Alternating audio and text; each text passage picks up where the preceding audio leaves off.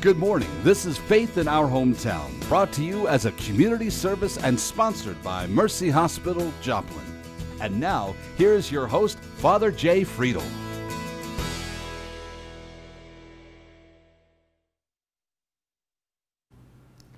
Good morning, and thanks for joining us again for another episode of Faith in Our Hometown. Uh, it's good to have you with us on another Sunday morning. Uh, my guest this morning is Gordon Clymer. We had Gordon on about uh, oh, about three, four weeks ago, I guess. Mm-hmm. And one of the conversations we were having uh, prior to that episode was about all the different ways that Joplin has kind of like fed the world with some of its missionary activity.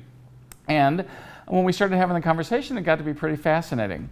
Uh, part of Gordon's role as a retired minister of the Christian Church and also as a former professor at uh, OCC, Ozark Christian College, uh, shows us that Joplin, for some reason, has developed into this little melting pot where it basically has reached out into the rest of the world and done a little missionary activity.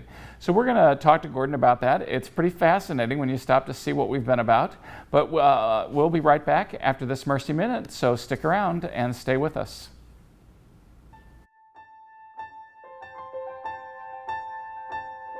The different bariatric surgical options here at Mercy Joplin includes laparoscopic Roux-en-Y gastric bypass, laparoscopic sleeve gastrectomy, and laparoscopic lap band placement. In addition, we also offer revisional laparoscopic uh, surgeries for those patients that have had previous bariatric procedures but have had failures. The surgical uh, procedure of choice uh, will vary with different individuals, and so that's why our team will work with the, the patient on an individual basis to determine which procedure is the best fit for them. All three of the bariatric procedures that we offer here at Mercy Joplin have a long track record of proven safety and efficacy. Um, the best procedure for the individual has to be a decision to be decided between the patient and the physician.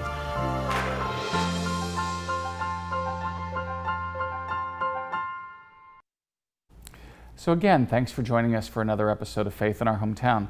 Again, this morning we're talking to Gordon Clymer. Uh, Gordon is a retired professor from Ozark Christian College and a retired minister of uh, the Christian Church. Right. And so, Gordon, uh, thanks for joining us again this morning. Our conversations before led, us to, led me to understand, probably in a way that I hadn't thought about before, how many different ways that Joplin has kind of like grown up and supported the, uh, some, some amazing missionary activity around the world.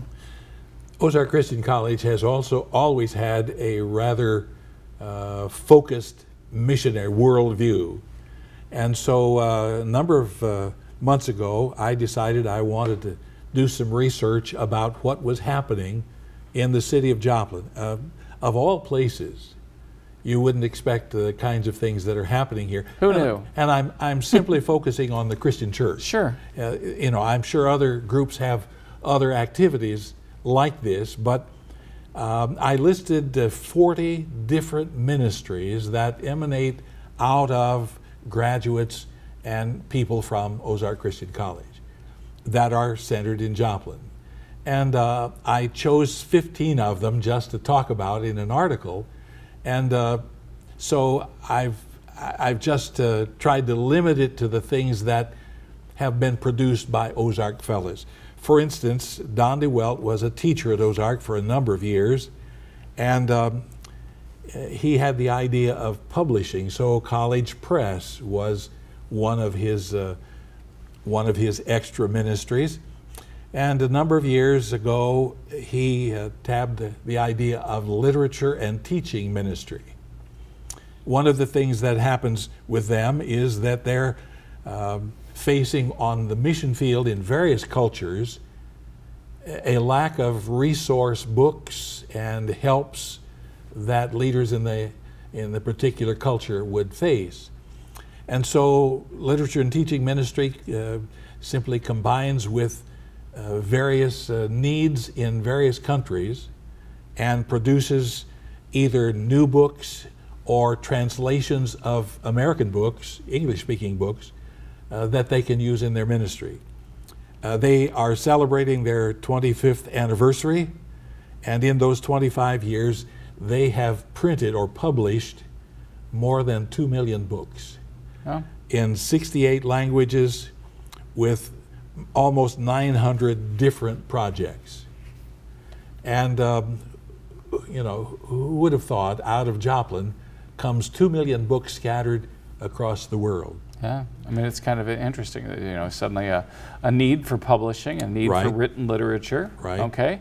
I know that there are some other groups uh, that we've actually had on the show. We've not had them on the show at this point in time, Mm-hmm. but we had other groups on the show. Some do video, same thing.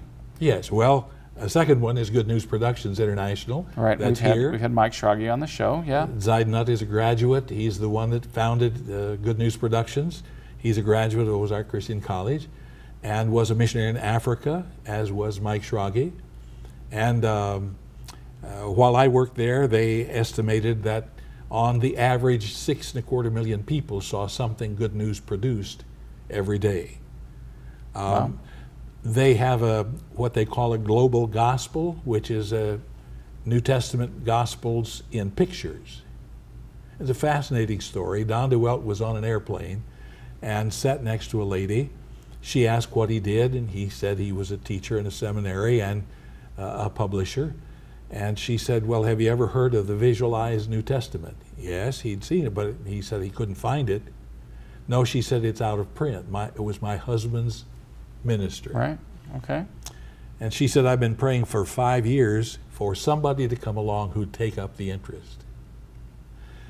So she gave him a copy and he brought it back here and a local artist, Paula Giltner, redid all of the pictures and it's the simple text of scripture below each picture Right. so they can transfer those languages, translations under each picture. And uh, Good News has picked it up, and they call it the Global Gospel. There are 107 different Life of Christ visualized stories in this series, and um, it's available on every device your smartphone, your computer, your uh, tablet, anywhere in the world and it's presently available in 20 um, international, uh, widely used languages. So, Good News has an outreach. Um, a, a third one, Joe Garman leads American Rehabilitation Ministries, Right. and they have a ministry to prisons and prisoners. Uh, interestingly enough, Joe has traveled all over the country uh, doing those kinds of things. They um, hand out uh, more than 40,000 English and Spanish Bibles in prisons each year. And uh, recently, uh, they had more than 17,000 prisoners in their correspondence Bible studies. Well, Um, and again, these are just little things that started up by. 17,000 Yeah. prisoners. Yeah. They've see, also I'm used to I'm used to thinking about those things. I mean, you know, when I think about the Catholic Church, I mean, you know, that's just a that's a they, we've got a huge umbrella. Mm-hmm. So I'm used to you know hearing about okay, well, what this group is doing over in this Mm-hmm. area, or you know, we've got groups doing prison ministry and those things. But what amazes me is again just. Um, I mean, I guess I, I, I guess this is just its own little thing, you know. Uh, you know, Rome, what happened there, and what Mm-hmm. blew out of there. Uh, certainly, the other, you know, titular churches, Jerusalem, some of those things where, you know, again, things started and then expanded. I guess I shouldn't be surprised, but it, it's just when we were talking about this, the little Joplin, Yeah. I was kind of like, wow, Yeah. you know, this is kind of amazing, you know, that some of this Who'd stuff happened. that? Yeah, who'd Sure. have thought? They have a contract with Dayspring greeting cards. That the greeting cards that they bring back unsold, uh, they give to good uh, to uh, ARM, and they sort them and match envelopes, and um they gave out uh, last year. Um, well, I, I thought I saw it. Um, 498,000 oh, Gospel of John books, but they they have also uh, given out these greeting cards, 4.3 million cards to prisons each year. Those are cards that prisoners can send, Right, not sent to prisoners, Right. but prisoners send. right. And So- they get the opportunity to do that, you know, and stay in contact with their folks on the yeah, outside. you yeah, know. and Yeah. it's a part of the therapy. Christ in Youth was begun by a teacher at, at uh, Ozark Christian College named Bob Stacy. And uh, over the years, uh, Christ in Youth has developed uh, high school and junior high programs. And uh, last year, they had in their junior high and senior high um, programs, week long programs, more than 40,000 across the country. And uh, they have a, a, wide variety mission trips with junior high and senior high kids uh, to do service projects and a variety of other things. Um, one of my friends, who was a director of missions at Ozark, uh, when he came to retirement age, um, had studied Islamic world, and so uh, he and his wife moved to Amman, Jordan, and they have an outreach library in Amman, Jordan, the only public lending library in the city of two million people.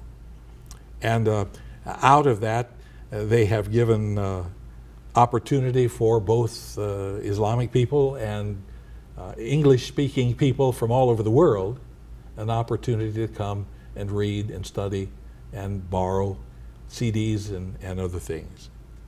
Um, it's called Books and More, and it's in Amman, Jordan. Um, Rapha House, uh, right. Joe's. We've had Rapha House on the show before, yeah. Okay, Joe's daughter, right? Uh, Stephanie Freed went to uh, Cambodia and developed uh, houses of rescued girls from the slave, the sex traffic. Right. And uh, my, what a marvelous opportunity. Uh, then also uh, an Ozark graduate, uh, Carolyn Schrage leads Life Choices. Life Choices here. has certainly helped us out on this show. Uh, and, Carolyn's a good good woman. They they have reached more than 10,000 public school children each year to talk about values, uh, moral and sexual values, and the problems of abortion and the things that they're trying to, to, to uh, avoid. So, in, in, all, Joplin has, has outreach in so many different areas in different countries. Uh, Ozark Christian College has graduates in 100 countries and all 50 states. And so, um, who, who, would have thought Joplin, Missouri would have that kind of outreach? No, and it is interesting to hear, you know, again, how that, uh, that uh, creativity when it comes to, you know, uh, spreading the good news has, uh, or even just in helping other people in need, uh, you know, has kind of blossomed uh, in a way that, that has kind of just grown exponentially as it, as it you know, yeah. flows out from here. I asked Joe Garman one time, how many courses in prison ministry did you have in, in Bible college? Well, he laughed and said none. Yeah.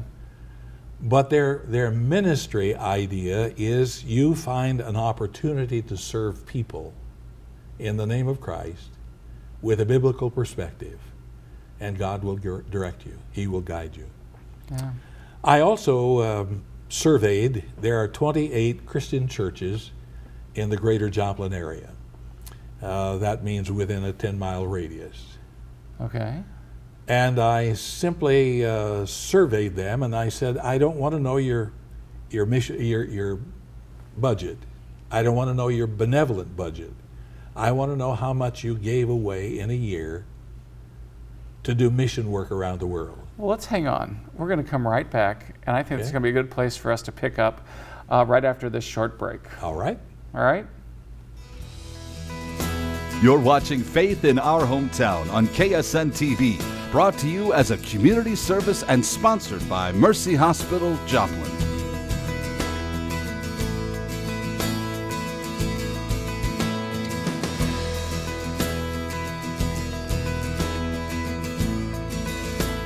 Well, thanks for sticking with us this morning. Uh, again, my guest has been Gordon Clymer.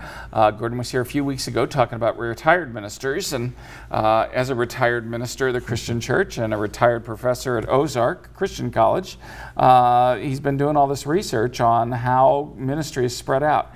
Now, right before the break, we were talking a little bit about um, what uh, what just even some of the Christian churches have done mm-hmm. Uh, in terms of what the, what of their budget goes to spreading you know Christian message other places throughout the world. And you were talking a little bit about that one before right before the yeah, break. Christian churches are more independent in the sense that uh, we've often said they support missionaries, not missions. But uh, it's a personal relationship that they develop with somebody in some other part of the world that they want to contribute to their sustenance. So I simply asked them, what uh, amount of your money did you give to missions outside of the local church, outside of the local community? And out of the 20, I, I found 23 out of the 28, and it exceeded $2 million a year. Uh, aggregately, Yes. altogether. Yeah. Collectively, $2 million out of Joplin. Yeah. And I mean, you know, and again, think of all those other places out there. I mean, you know, there's so many churches that support so many different, mm-hmm. uh, you know, the assemblies have got all their mm-hmm. missions mm-hmm. and, you know, their, their corporate, you know, kind of the way that they blanket things. Certainly, you know, Catholic missionaries and missions, same way, some of those, those projects. I mean, you know, so if you're thinking that, that was just 20, which is how many that was, that was? 23 churches. There was 23 churches, and that was 2 million among those 23 churches. And so when you stop and you start looking at, again, when you start taking all the churches in Joplin, and we got bunches. Yeah. We got bunches. Yeah. Wonder, that would be, s- that would be so fascinating to find out how much. What the congr- uh, conglomerate of churches in the city of Joplin Yeah. give to missions. Well, and I'm sure it's, I'm sure it's the, the I'm sure that the uh, amount would, you know, kind of stagger us all. Yeah. Uh, when you stop and think about that because I'm just thinking about you know our efforts and tag those along with yours and all the other different groups that you know that that do uh, missionary work or support missionaries um, who've come from you know their own area or, or those kinds of things. I'm, I'm amazed at like I said I, and I I shouldn't be but when we started talking about this I was kind of like wow I just hadn't realized you know you don't see the whole impact until somebody puts it together in a place. But again, when you stop and think that you know, uh, you know, Jesus started with twelve, Yeah. and you know, now look what we've got. Yeah. You know, um, um, and I know it wasn't just twelve, but I mean, but still, you know, it's amazing that a little movement that started in one little area of the world, you know, can kind of spread in that way. Let me read you my conclusion because I think this is important. The synergy and diversity of these ministries is a testimony to the body of Christ working together as each part fulfills a unique function in the living body. Mm-hmm. The influence of this one small city could and may be repeated in various places across the world. It's not my purpose to identify Joplin, Missouri as some utopia of Christian service. It's meant, however, I never thought of us as a utopia before, but that's okay. it's meant, however, as an encouragement and a challenge to see the bigger picture of influence be beyond what most people would see in a single congregation. Which I think is, I think that's a very true statement. I mean, you know, guys, again, I, I agree with you. I mean, I don't see Joplin as this, you know, um, you know, as so unusual. No. But I see us as really, truly, in so many instances, trying to live out the gospel Yeah. and give witness to it wherever we happen to be. Especially after you study the history of Joplin. Yeah. At one point, their report was there were more bars and saloons in Joplin than there were churches. Uh huh. And I know that the founding fathers wanted to do something about that, which is how we got Yeah. some of our churches, Right. You know, here in the area. But that's not that should that shouldn't be unusual in the history of the U.S., especially. Uh, you know that we had on the frontier so many different. Uh, so many different groups that went in and started out in a mining community like Sure. this. It was rough and tumble when Yeah. they first started, but then they wanted to get a little bit rub, you know, knock off the rough edges and and and bring a little uh, of other values into it rather than just you know uh, the competition and the you know whoever can be the loudest and the roughest. Well, my point wasn't necessarily to say, look at us and what we're doing, Right. but to help individuals see the big picture. And what, what a small town like Joplin could do, is doing, if uh, we put our minds and heads and pocketbooks together. When I and I do think it's amazing because I mean this is just like as you said this is not uh, you know and and we could have had you know if any other group wants to come on at some Yeah. point in time and tout what you're doing I'd love to see what that Or if they'd like to do that research, I, I'd love to see it. the Baptist uh, yeah conglomerate kind of picture of what they're doing. And put together the conglomerate of all the different Baptists Yeah. you know Yeah. and and Right. see what you know see what's going on there that would be a that would be absolutely amazing I'm still looking for some good Baptists to be on this show, but you know, see how it goes. Um, but we, um, I I do think, I think your point is a good one, and I, and I was, I was fascinated by the premise of the article uh, in terms of, you know, what's just really been done, and it was kind of grown out of here to do some of those things. Um, and again, let's face it, we're all, we're all, uh, we're still all of our denominations all of us are out there still training young people to try to figure out how to respond in a way um, i mean you know the ways that i had to do things you know when i was first ordained 30 years ago um, were very different methods than we're having to need Yeah. to use today Yeah. because the world's changed Yeah. uh, we got to figure out how to evangelize in new ways Yeah. Uh, which I find uh, always fascinating because the message really isn't new, the person isn't new, but uh, the person of Jesus isn't new. But I'm just saying, but we've got to figure out new ways of doing that in different. Well, in we were different talking about. Good News Productions started out with film strips. right? When I started there, they were using videotapes. I chose the the uh, CDs for my distance learning program.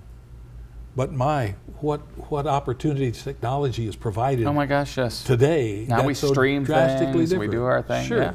sure. From anywhere in the world, it's amazing.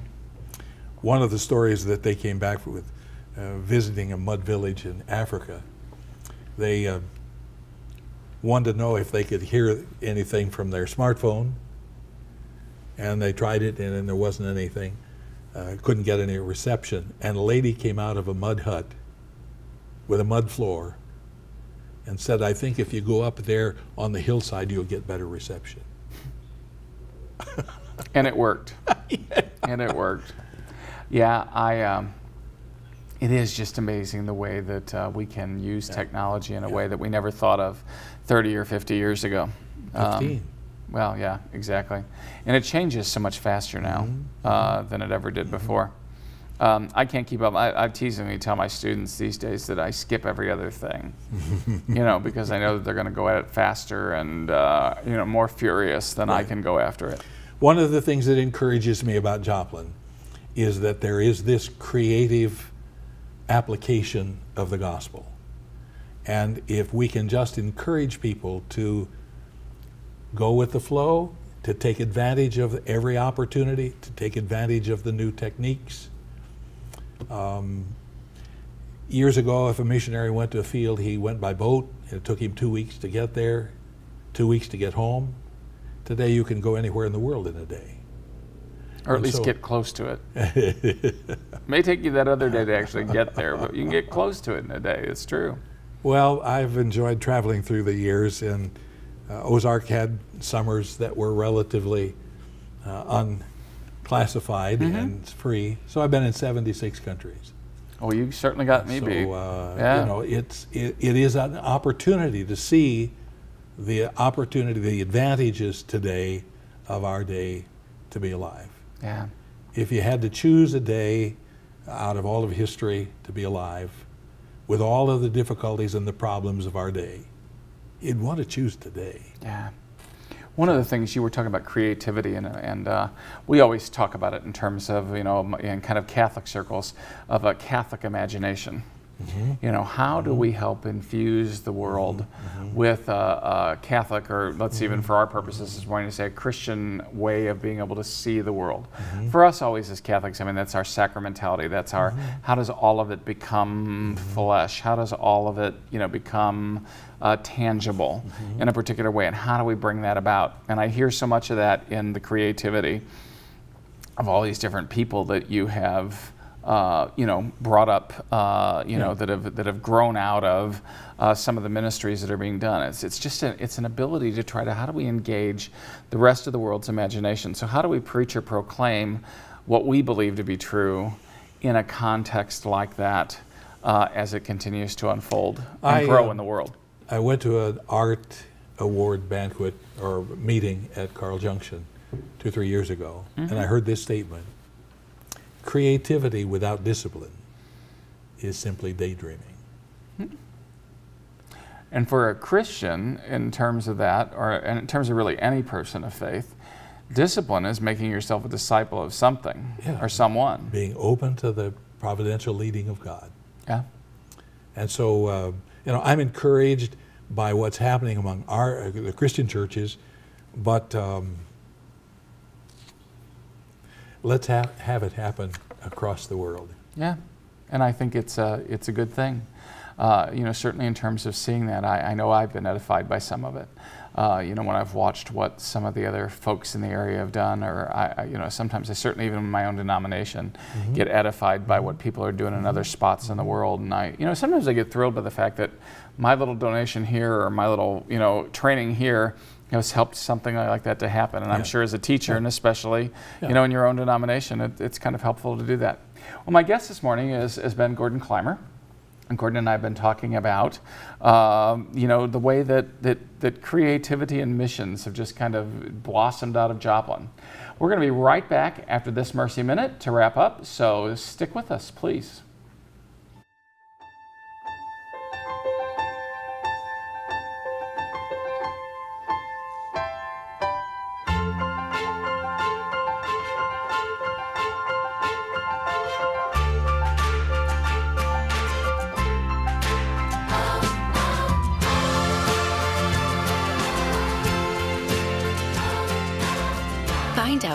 Mercy doctor can take care of you. At Mercy, your life is our life's work.